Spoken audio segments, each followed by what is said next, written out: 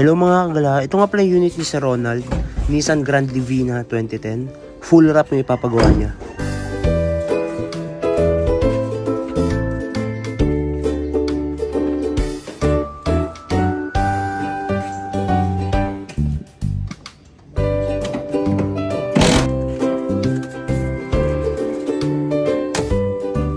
Hindi na nga pala namin tinanggal yung carpet dito kasi nakaipit siya hanggang sa may ilalim ng dashboard eh.